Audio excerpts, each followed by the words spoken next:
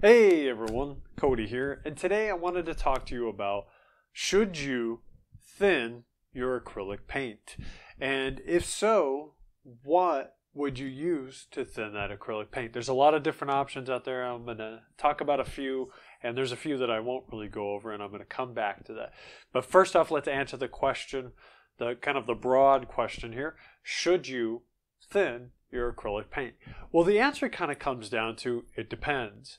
And I feel like that's the answer for a lot of things when it comes to art, but it really kind of depends on the type of painting that you are trying to make. Now, if you're trying to make a very thick painting, if you're trying to make something with a lot of depth, or if you're trying to make something that has layers, or something that has a lot of kind of like 3D feel to it, then the answer is no, you don't want to. Uh, you don't want to thin that acrylic. In fact, let me show you a painting here that I actually didn't set aside beforehand, but I happen to have it. This is a Gerhard Richter type painting where I layered several uh, colors over one another uh, in a scraped fashion. I did not thin out the acrylics because I wanted the layers. And if I had thinned them out, then they would have been kind of running. So it really kind of depends on the type of painting that you're creating. And so, really, it comes down to whether or not you're trying to create more of a 3D type painting or a more liquid type painting. A painting where gravity would uh, do a lot of the work of creating that piece.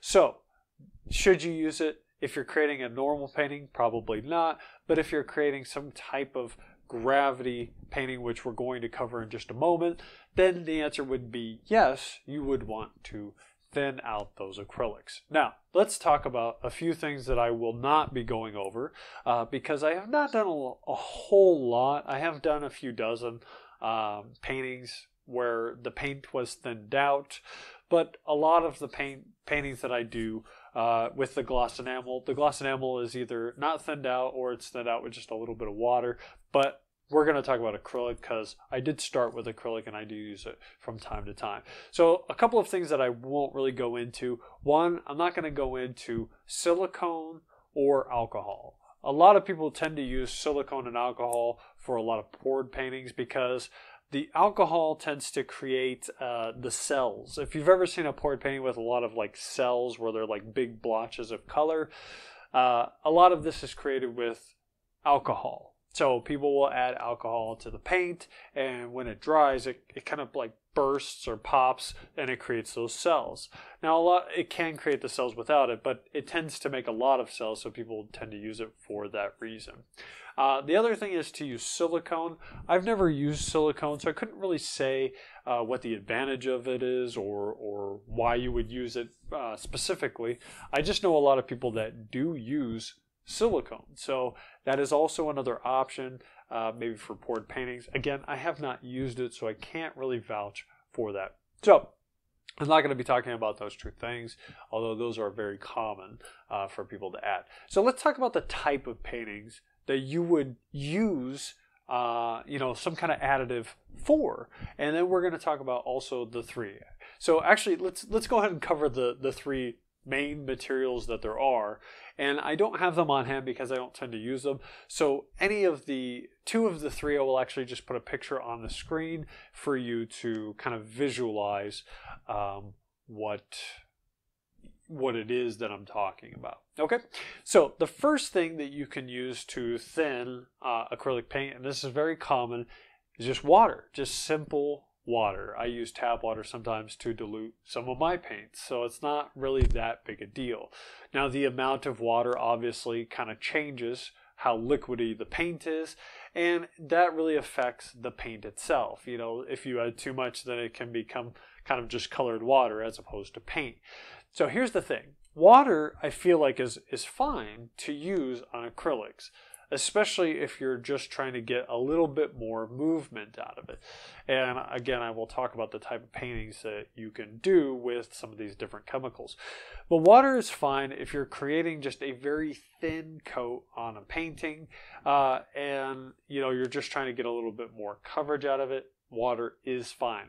Here's the caveat. When you add water, water breaks down the pigment inside the acrylic paint. So if you put acrylic paint, uh, you know, say in a container, and then you add a little bit of water and you kind of mix it in.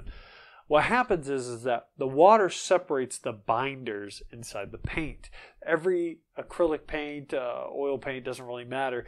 Paint has binders in it. And, and the binders are basically what takes the pigment and the actual you know materials that the paint is made out of and puts them together. And when you add water it tends to kind of break that apart. And if you use water to thin out your paint this is why if you ever if you've ever used water for acrylic paint and then painted with it it's very thin it's very transparent it, you know you can see you can almost see through it. And if you use really cheap acrylics you can actually see little chunks inside of it the reason is is because if you use cheaper paints, uh, you're gonna see those chunks because a lot of cheaper paints tend to have more filler in them than high quality paints. In fact, give me one second. So I'm I'm off screen, so you can't really see me, um, but we're gonna talk about this actually. Okay, so I'm gonna show you three different paints, and I'm gonna talk about them. Okay, so here we go. There, I have three paints here. They're all acrylic. Uh, the first is Artist Loft. This is a Michaels brand exclusive. This is Michaels brand of paint, okay? And it's very cheap. There are cheaper ones, but this is a cheap brand of paint that's acrylic, and uh, they do have some great colors. And if you're just doing regular, uh, you know, acrylic type paintings, it works. It works. They've got some great colors. Um, so I'm not going to bash the paint, but it is cheap, okay? It's got a lot of filler in it. Next, we go to Liquitex, and Liquitex is a better brand, um, slightly better than you know the Michaels brand. It's got less filler, but it still has a decent amount of filler in it, and you can tell because when the paint dries, you can tell how kind of cheap the paint is by color fastness. And color fastness is basically how it looks when it goes on versus how it looks when it dries. And if a color retains the same exact color or very close to the same color as it went on as it does when it dries, then the color fastness is very high. You know, it's got a lot of color fastness. The problem with Liquitex Basics is that it looks, you know, very dark, very very vibrant, very glossy when it goes on, and then when it dries, it kind of dulls out. It's not as dry, you know, it's not as dark as it was before, so it loses some of that color fastness. But again, that's also because of the binders, because it has more binders in it. Cheaper paint tends to have more binders in it than, say, high quality paint like Golden or, uh, you know, the new New Earth or Newman or I forget what it's called. I, I don't I don't normally use it, but I know it's like and something. Anyway, uh, okay. So then you also have you know Liquitex Professional. So regular Liquitex is different than Liquitex Professional because they do have professional, you know, grade paint, and it, again, it's less filler. So it's just something to keep in mind that when you buy paint, uh, if you buy cheaper quality paint, it's not that you can't create decent looking art with cheap paint. You definitely can. In fact, a professional artist could still paint the Mona Lisa with cheap paint. That it's not about the technique. It's about the quality of the paint afterwards. So how light fast is it? How color fast is it? You know, so anyway, coming back to thinning the paint. If you add water to cheap acrylic paint, it is going to break up some of that binders and it's going to make it transparent when it goes on when it dries but it's also it could also put, produce chunks in the paint where you're seeing the little bits of of binder that are actually broken off because you added water okay so now if you use higher quality paints, say you use golden or you use a you know a high um, you know some other high quality brand or even a, you know a professional line of Liquitex, if you use something that's higher quality with less binder and less filler, and then you add a little bit of water, it's still going to retain much of its color fastness. So you're not going to see as much of that problem. So water can be fine. Just know that it can create it. It's going to leave, make that that paint more transparent and it could break up those binders. Okay, so that is water. It's, it's fine, it can work. You have to test it for yourself. The second thing is flow extender, and I'm going to put a picture of it here. A lot of people use Floetrol. There's other brands though. I think even uh, you know Liquitex has a flow extender. Basically, what flow extender was created before was something like paint paintbrush or airbrush type paint, where it's making the paint thinner, um, but it's still keeping the color of it. So it kind of breaks down the binder a little bit, but you still have the color. Well, the Floetrol or flow extender is more for pouring the paints, but getting better coverage with color, but not as thick as you know, say regular acrylic paint. So flow extender can be good because it, it gives you better coverage and you still get good color, but it's more about spreading it out over a better layer with color as opposed to keeping the consistency of that color. And so Flow Aid or Flow Extender or Floetrol, whatever you want to call it, whatever you want to use, Flow Extender basically just extends the paint so that when you paint on a surface, it, it, it allows it to go out more and you're going to keep a lot of the color, but it's going to be more transparent.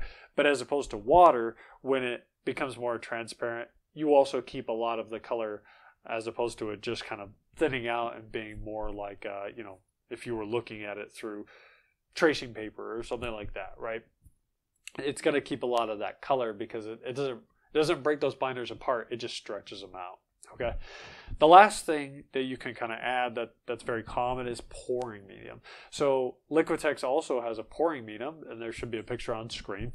Pouring medium is exactly what it sounds like. You would use it mostly for board paintings, and so with pouring medium, it doesn't give you the range as far as the like flow extender, right, or water. It's not going to give you as much coverage. However, it does retain a lot of the binders and, and the color that's in the paint.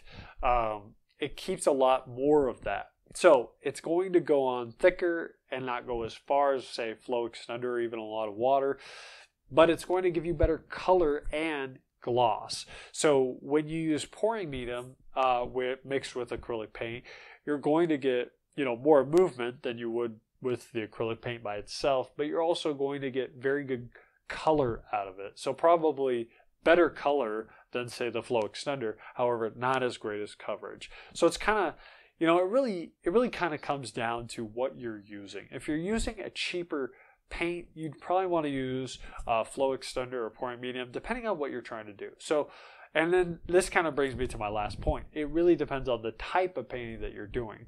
So, if you're doing something where it's a poured painting, again, it's up to you. A lot of people use silicone or, or, or, alcohol or whatever, but if you were choosing between the three, you can just use a little bit of water if you just want a little bit of movement.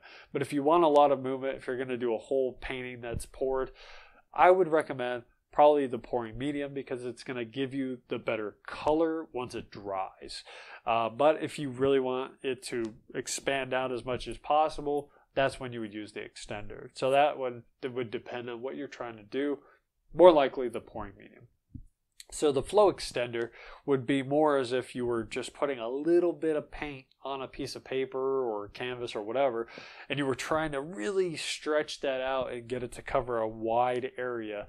But you also are okay with it being kind of transparent, uh, kind of see through, and still retaining great color, but being very thin, very transparent, that kind of thing. So that's that's when you would use flow extender. Uh, lastly, you would just use water if you were just you know adding a little bit of water to kind of maybe get it to move a little bit better or to spread it out maybe to maybe you're doing a normal acrylic painting you're not doing poured or you're not doing like drips or lines or anything like that uh, if you just use a little bit of water you know, it's going to help you kind of cover a larger area. So that makes a lot of sense, just adding just a tiny bit of water to cover a better area.